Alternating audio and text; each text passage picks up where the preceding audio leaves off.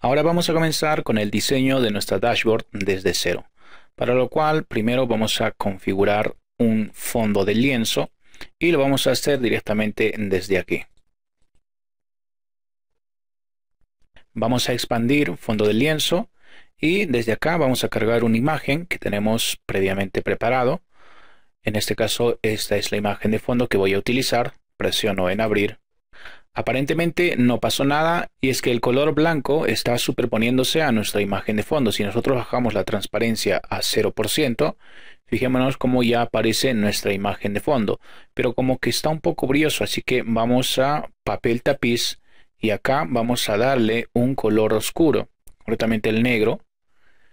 Como vemos en la parte de abajo es donde se ve el negro, ¿verdad? Vamos a regresar nuevamente a fondo de lienzo y acá vamos a subir un poco la transparencia. Concretamente lo vamos a dejar por ahí. Ahora vamos a trabajar los estudiantes y vamos a agregar este objeto llamado segmentación de datos. Solamente hacemos clic y se nos agrega a nuestro lienzo. Aquí vamos a trabajar con la tabla datos estudiante. Recordemos que en esta tabla están los datos reales y completos de los estudiantes. En esta tabla, que también tenemos nombre y apellido, son los nombres y apellidos que suelen colocarse los estudiantes cuando ingresan a la sala. A veces se colocan completo y a veces también no lo hacen, ¿verdad? Entonces, para asegurarnos, vamos a trabajar con este campo llamado nombre de datos estudiante. Vamos a arrastrar a nuestro objeto.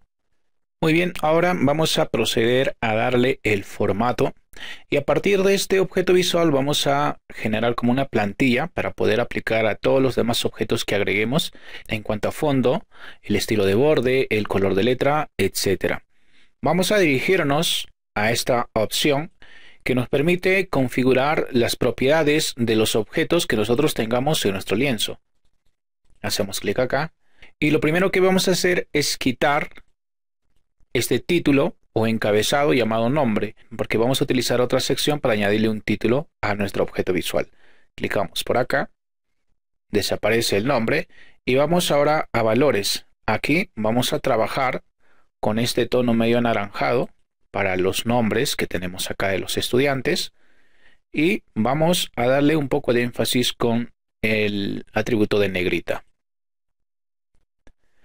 Ahora vamos a dirigirnos al apartado general, en donde vamos a agregarle un título a nuestro objeto visual. Muy bien, vamos a expandir y acá tenemos un campo para poder escribir y acá voy a colocar en mayúscula estudiantes. ¿Vale? El color de fuente vamos a cambiar un tono amarillo, vamos a darle clic en más colores. Aquí vamos a mover nuestro cursor o nuestro selector más o menos lo vamos a dejar por ahí. También le vamos a dar en negrita y ya. Vamos a contraer título y ahora vamos a expandir efectos.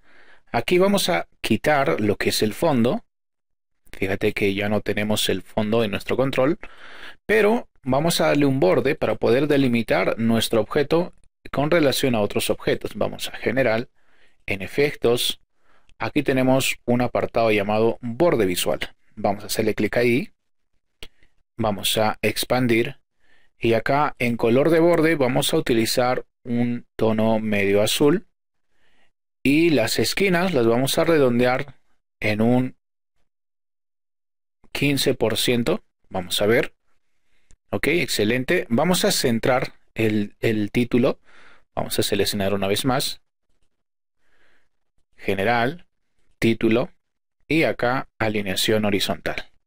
¿Vale? Ok, vamos ahora a lo que sería nuevamente efectos. Y en acá vamos a activar también el efecto de sombra. Y lo vamos a dejar tal cual externa inferior derecha. Bien hasta ahora ya tenemos nuestro objeto para lo que son los estudiantes. Pero vamos a colocar el nombre de los estudiantes en mayúscula para lo cual vamos a hacerlo mediante Power Query. Vámonos a la opción transformar datos que se encuentra en la pestaña inicio, ¿vale? No importa que tengas seleccionado por acá.